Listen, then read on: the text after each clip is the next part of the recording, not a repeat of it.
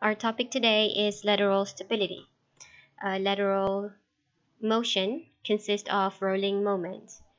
Um, rolling moment is achieved by differential deflection of the aileron control surface. Uh, we'll discuss more on the aileron deflection later when we talk about roll control. Note that a positive rolling is rolling right wing down. The lateral stability derivative is CL beta, which is the derivative of the rolling moment CL. Um, um, uh, it's actually the derivative of the rolling moment coefficient CL with respect to the side slip angle beta. Note that when the aircraft rolls, it also begins to side slip. For example, when the aircraft banks right wing down, it would yaw nose to the left. A positive rolling moment also create a positive side slip, just like what's shown uh, in this diagram. You can't see it directly, but you can imagine it is rolling its right wing down, causing its nose to yaw to the left. So we have here a positive side slip angle. Um, now, an airplane that has static roll stability would develop a restoring moment when it is disturbed from wing level attitude. Uh, equilibrium or trim condition is when rolling moment is zero and side slip angle is zero. Let's take a look at uh, the graph of the rolling moment coefficient CL versus the side slip angle beta. The origin here signifies a trim condition where CL equals to 0 and beta equals to 0. For a statically stable aircraft, we want the slope CL beta to be less than 0. Let's take a look at the plot of the statically stable aircraft. This one right here. Suppose the aircraft is flying at wings level flight and then it experiences roll upset causes a positive side slip angle, meaning the aircraft experiencing a positive roll and it rolls the right wing down. The aircraft would then generate a restoring moment to reduce this bank angle to bring it back to wings level flight, meaning it developed a negative rolling moment to roll its left wing down and right wing up. So CL beta less than 0 indicates a statically stable aircraft in rolling motion. Let's look at the aircraft's lateral stability by its individual components. If we derive the rolling moment equation and then rewrite it as the dimensionless rolling moment coefficient equation, we get this set of equation, and it is described as a function of the side slip angle beta. To determine lateral static stability, we look at the parameter CL beta, which is the lateral static stability derivative. Um, the CL beta can be computed by adding up the CL beta contribution from the aircraft's dihedral, the wing's position mounted on the fuselage, the wing sweep, and the vertical tail. Let's discuss about these terms individually. Uh, the dihedral angle is the upward angle from the horizontal of the wing. Dihedral wing contribution to lateral stability is stabilizing, while anhedral wing that have a downward angle like this is destabilizing. It's common for many aircraft to have wings with dihedral angle of about 1 to 3 degrees. Um, these diagrams show how dihedral wing is stabilizing. Um, let's start with here at wings level flight. Lift produced on both wings are equal or equally distributed. If the aircraft rolls and experiences side slip like this, where the relative wind is coming from one side, because of the dihedral angle, the low wing would have a higher angle of attack it would have seen a higher angle of attack than the high wing. Therefore, the relative wind that strikes the low wing would create a higher lift uh, than this wing. So this would then push the lower wing to restore the aircraft uh, to wings level condition. Uh, this phenomenon is what we call the dihedral effect. The effect of dihedral uh, is to produce a rolling moment tending to return the airplane to wings level flight. The CL beta contribution from a dihedral wing is given by this equation. It is a function of the lift coefficient, the di dihedral angle, and the wing's taper ratio. Notice that the uh, CL beta due to dihedral is a negative number. In other words, if the aircraft is laterally stable, it experiences a positive side slip, it will create a negative rolling moment, uh, i.e. if it side slips to the right, it will induce a left wing um, down roll.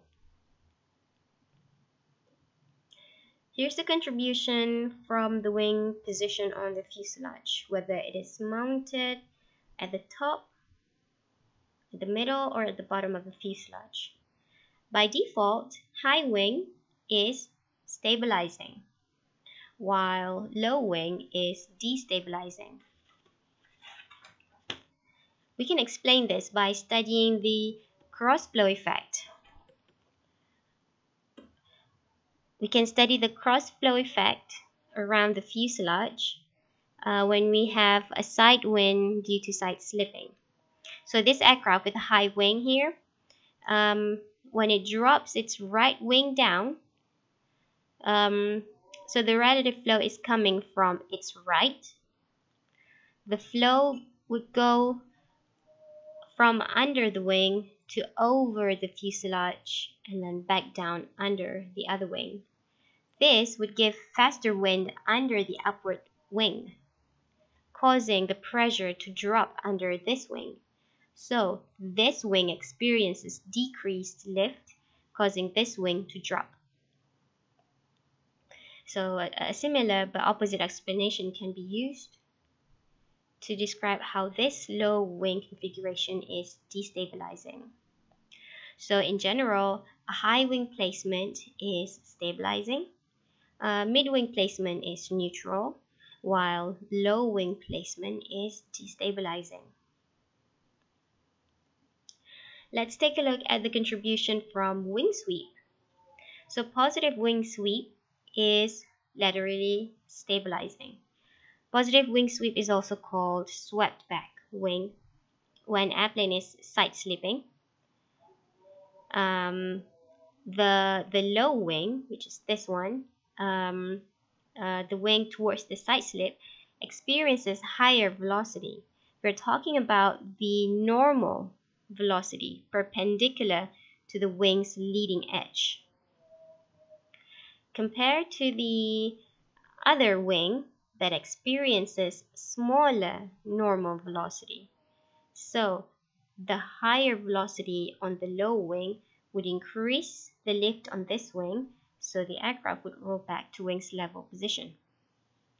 Uh, here, here's an empirical equation for describing CL beta contribution from the wing sweep. And notice it's also a negative number. Let's now take a look at the contribution from the vertical tail.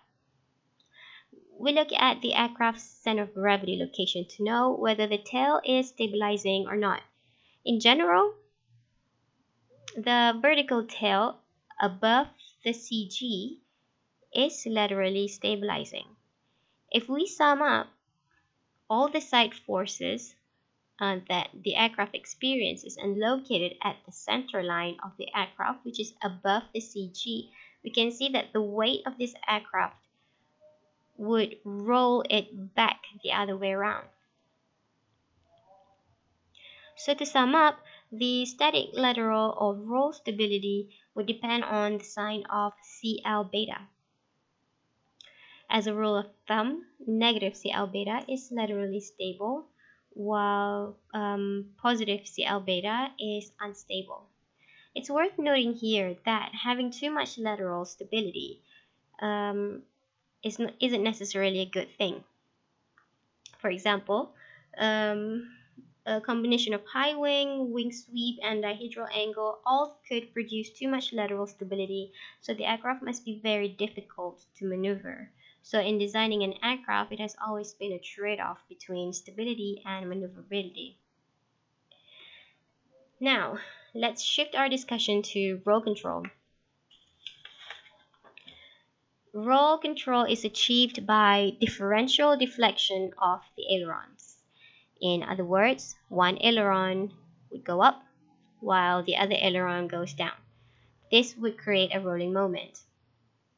When the aileron is deflected upwards, it disrupts the lift on that wing, while when the aileron is um, deflected downwards, it increases the lift on that wing. So this differences in the lift on the left and right wing creates the rolling moment. Um, the wing with upward aileron deflection will experience less lift, so it will drop, causing the aircraft to roll on that side. Uh, the aileron deflection is described by uh, this equation, which takes account of the differential deflection of the aileron. Uh, for sign convention, we have established previously that the control surface deflected upward is positive deflection, while control surface deflected downward is negative deflection. So by this definition, positive aileron deflection is when um, the aileron on the left wing deflects upward while the aileron on the right wing deflects downward, just as shown on this diagram. The aircraft would roll right wing down, and this is a positive rolling moment. So we can also describe a positive aileron deflection as uh, one which results in a positive rolling moment. The equation of the rolling moment coefficient is shown uh, here with the addition of the aileron effectiveness term here. CL beta uh, is the aileron uh, is the lateral static stability derivative, while CL delta A is the aileron effectiveness. Um, this equation down here describes the contribution of the aileron deflection towards uh, the rolling moment coefficient CL uh, in this equation, the flap effectiveness, tau, can be computed the same way we computed the flap effectiveness of the elevator and the rudder. We use this graph um, that describes the value of the flap effectiveness based on the ratio of the size of the aileron with respect to the size of the wing. Um, the lift curve slope of the aileron, CL alpha here, can be computed by integrating over the region containing the aileron. So then we have uh, this equation that describes the aileron effectiveness. And it is just a function of um, the flap ratio and the lift curve slope of the wing. So remember at the beginning uh, of the lecture, um, I mentioned that when an aircraft rolls, it also experiences side slip. For example, when the aircraft rolls right wing down, it will also yaw nose either to the left or to the right. Um, if the aircraft banks to the right and its nose yaw to the right as well, which the nose yaw into the direction of the bank, we call this proverse yaw. On the other hand, adverse yaw is when the nose yaws the opposite to the direction of the bank. Uh, for example, the aircraft banks to the right and its nose yaw to the left, away from the direction of the bank. Um, the aircraft would experience proverse yaw or adverse yaw depending on what control surface is used to roll the aircraft. If ailerons are used for the rolling maneuver, but without the use of other control surface, this would create an adverse yaw. This is because the downgoing aileron produces higher lift as well as higher drag um, than the other wing. So it'll pull the aircraft in um, that direction. So just to illustrate, this wing has aileron deflected upwards and this wing's aileron is deflected downwards. So the lift on this wing is decreased. Um, so the aircraft starts to turn this way. At the same time, the drag on this wing is increased. So it will pull the aircraft's nose that way in the opposite direction of the turn. Therefore, the aircraft will turn this way while pointing its nose that way. Um, spoilers, which is um, spoiler, which is a control surface on the wing that has a different mechanism than the aileron. How spoilers work is that it would be deflected upward to destroy some of the lift on that wing and also create drag on that wing. So the wing would drop and at the same time pulls the nose of the aircraft into the direction of the turn.